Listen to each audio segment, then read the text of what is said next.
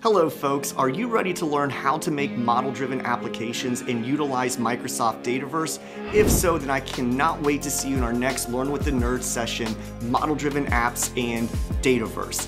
My name is Matt Peterson. I'm a Microsoft certified trainer that's been with Pragmatic Works for over five years. And I want to bring you the things that I have learned and the things that I teach others about how to utilize model-driven apps and Dataverse. So if you've ever made a Canvas app before, you know that you have to write formulas to get it to work.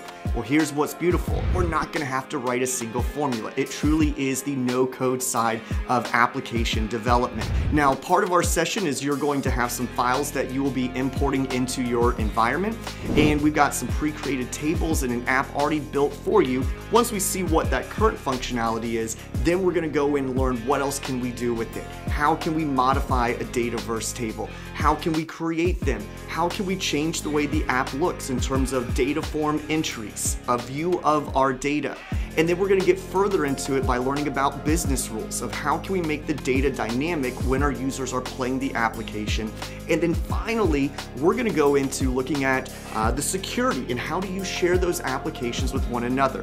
So we're gonna have a lot that's gonna be packed into the day. I hope that you're excited. And if you are, make sure to register for that event. And I really look forward to seeing you at our next Learn with the Nerds model driven apps and Dataverse event.